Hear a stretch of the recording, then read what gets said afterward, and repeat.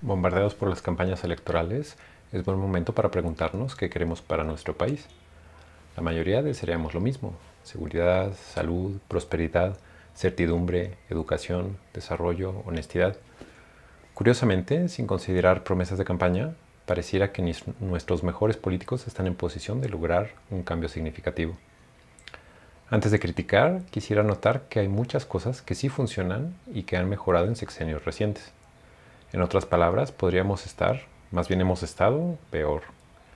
Por ejemplo, todo el proceso electoral tiene muchas oportunidades de mejora, pero es muy difícil que haya fraudes de la escala del de 1988. Y si comparamos con otros países, es difícil envidiarlos. Algo similar podemos decir sobre la recaudación fiscal. Todavía hay mucho por hacer, pero otros países podrían aprender de lo que ya se ha hecho en México. A largo plazo, hemos tenido mejoras en esperanza de vida, economía, educación, equidad y más. Celebremos lo positivo, pero no nos podemos distraer de los retos inmediatos. enfrentamos a un crimen organizado con un poder sin precedentes. Adolecemos de una impunidad rampante. La corrupción parece una hidra. Al cortarle una cabeza salen dos. No nos estamos preparando lo suficiente para enfrentar el cambio climático. Se dice que para influir en las decisiones de un país deberíamos de votar. Y sí, hay que votar. Pero, ¿qué tanto podemos influir tan solo con nuestro voto cada tres años? ¿Estaríamos de acuerdo en todas las decisiones que tomen nuestros representantes electos? Pareciera que lo único que podríamos contribuir a decidir a nivel nacional es si Morena y sus aliados tendrán mayoría absoluta en el Congreso o no.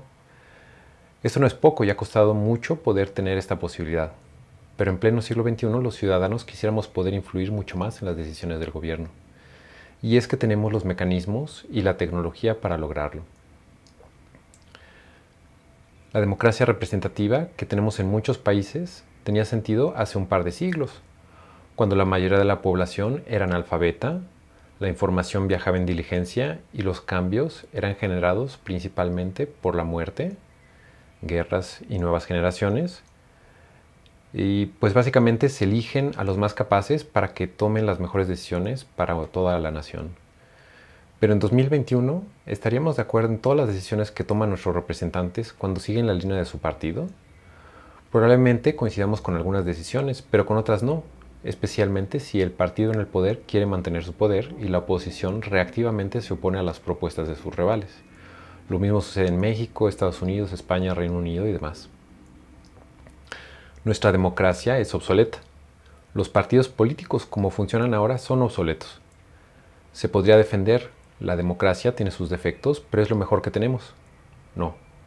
El conformismo no va a resolver los problemas. Si no ha habido actualizaciones relevantes a nuestra gobernanza en siglos, no quiere decir que no puedan hacerse. Y ya nos estamos tardando. Lo único que nos permitirá enfrentar la complejidad requerida para gobernar es la participación ciudadana. Me refiero a una participación que va mucho más allá de votar. Nuestros gobiernos necesitan sensores y actuadores para poder detectar y resolver problemas en tiempo real. Imagínense que los bomberos tuviesen que apagar incendios sin que nadie los reporte. Suena ridículo, pero así le exigimos a nuestros gobiernos que resuelvan todo tipo de problemas mientras que las autoridades se van enterando cuando ya solo quedan cenizas. No estoy sugiriendo que los ciudadanos tomen las funciones del gobierno. La propuesta es que el gobierno genere los mecanismos para que los ciudadanos podamos participar en la gobernanza de la manera más fluida y transparente que nuestra tecnología permite. La idea no es simplemente montar encuestas en línea es momento de repensar toda la estructura de nuestros gobiernos. Necesitamos tantos organismos, representantes y estructuras a diversas escalas, desde el barrio hasta la internacional. Hay que analizar qué decisiones globales se tomarían mejor a nivel local y qué decisiones locales se tomarían mejor a nivel global. La pandemia ha sido trágica, pero podría verse como una oportunidad para transformarnos como país de manera tal que podamos adaptarnos mejor a nuestro futuro.